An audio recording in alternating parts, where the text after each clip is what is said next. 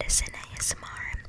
Thank you so much, Madison, for letting your cousin make me a shirt. So, yeah, guys, the second shout out goes to Madison's cousin or sister. I think it was your cousin, I can't remember. Her cousin or sister, Addie, she made me a shirt. Oh my god, like a shirt, like